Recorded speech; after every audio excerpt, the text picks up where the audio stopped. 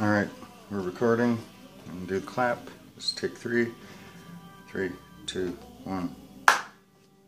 Hey YouTube. It's been a long time. I think I'm to try making another video. This time I'm to explain how to do a few down low on the cheap uh, MacGyver welfare mods to your Kel-Tec Sub 2000. This uh, is kind of senseless first of all because if you have a laptop it'll fit in your laptop bag. So you can save yourself 15 bucks right away. And this is not a sub 2000 case from Kel-Tec it's I think case KSG case from Kel-Tec uh, don't quote me on that either. Not sure. I can't remember which it is. But this is my generation 1 sub 2000 uh, put these away for now. Oops Let's open her up and make sure it's safe. It was safe when it was folded. Yep, it's empty. Alright.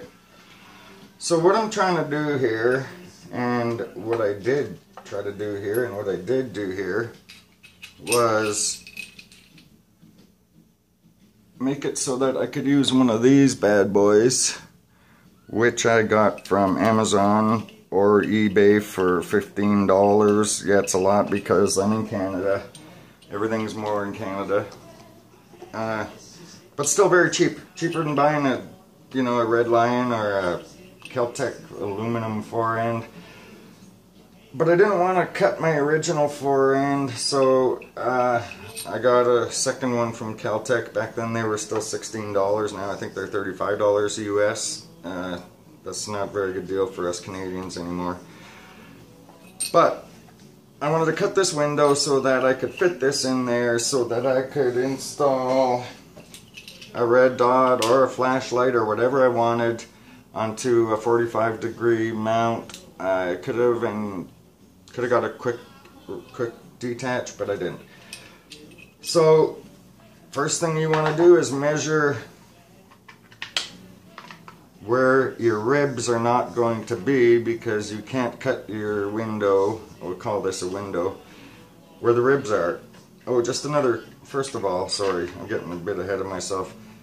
Uh, I did take my Dremel with a sanding drum like this and I went in and free floated I mean it was rubbing squishing pretty hard on the barrel so why not I did that. I used some chunk of standard one and three quarters to two and a quarter. Uh, I guess it fits a few sizes. Bicycle inner tube for the grip sleeve and some electrical heat shrink. Uh, the trigger has some sharp corners on it. I didn't want to sand it. If I go to sell this thing, I want it to be as pristine as possible. And excuse my mumbling and fast talking, I will try to stop that right now. Uh, what else? Oh, the uh, buffer tube cover, another welfare MacGyver thing. I used some toolbox drawer liner that's kind of rubberized and some Gorilla Tape. It's not for the cushion, it's mostly to keep the, when it's minus 40 in Canada and you put something metal on your face, doesn't feel real well, so feel very good. Those are my uh, other welfare mounts. Oh, use the zip tie for uh, sling mount. Yay. So, what I had to do was measure, get a rough measurement of, I wanted mine as far forward as possible. So, from that rib to the back of the stock is approximately nine and a half inches right there. Um, so I wanted to stay less than nine and a half inches away from the back to start my hole which I started I believe with the Dremel and one of these sort of end mill bits or router bits or drill bits and of course stayed away from you know the actual size and location uh, because when you start your hole, you want to make it smaller than it's going to be just to make sure you have a nice... I mean, this isn't even a real nice job, but compared to where when you start, it's really ugly at first. Um, so yeah, you want to stay smaller than smaller than that's going to be, which is about an inch and a half long. And taller than that's going to be, which is about 7 eighths, a little less. So you're gonna, I used masking tape, which was, I guess, okay for marking and laying out. Yeah, what the heck. Um, then I drilled my holes a little smaller than I had to. And I got on eBay, I think, for pennies each, some of these stainless little saw blades. I don't know if you can see those. Very cheap, very effective for cutting plastic and polymer.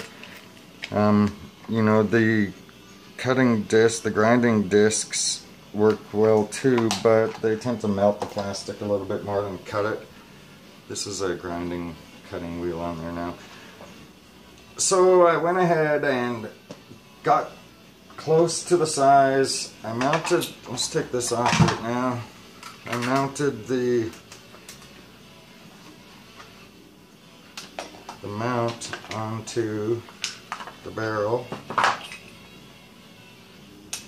something like so with just one or two screws temporarily it's just like cutting that hole you you never do something all the way at first. You just do it part way and then you come back and finish it up later.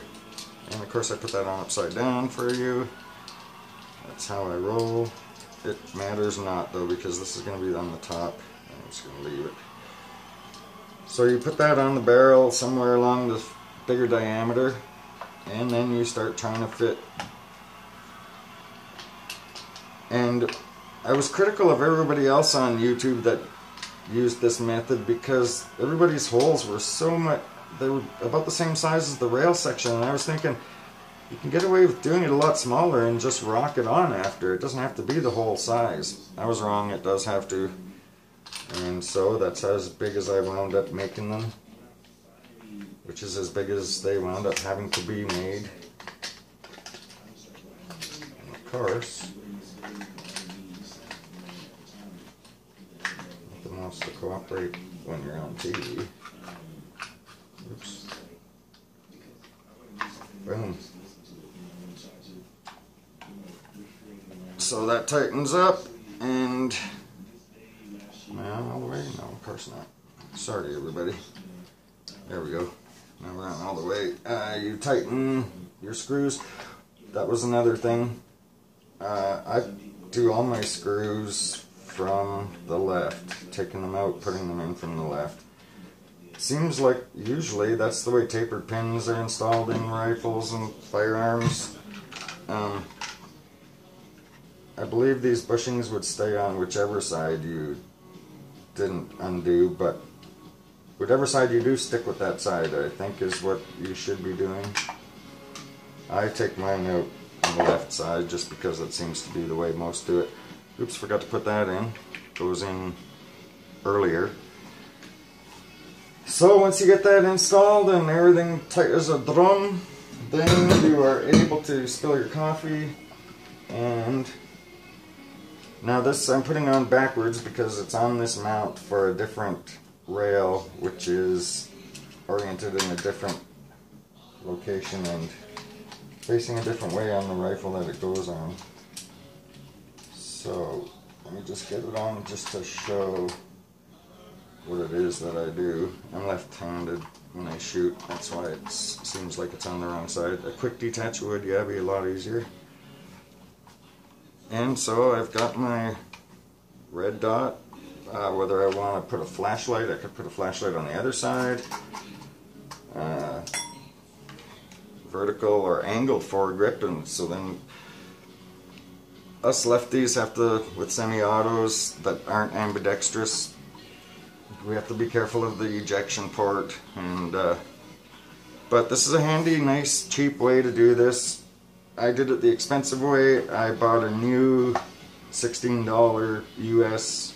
Back then the exchange rate was fine. Um, forend and I butchered that one and left the stock one alone.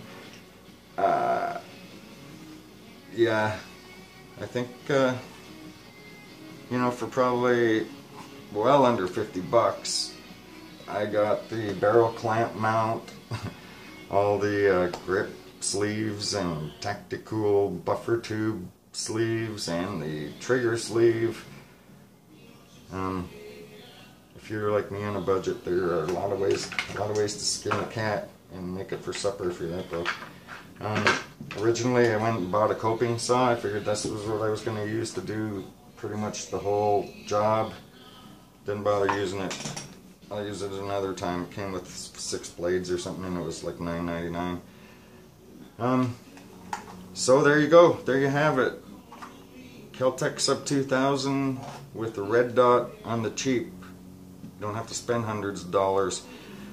Uh, stick around because I've got a couple more sub, uh, sub 2000 modification videos coming right up. Thanks for watching everybody.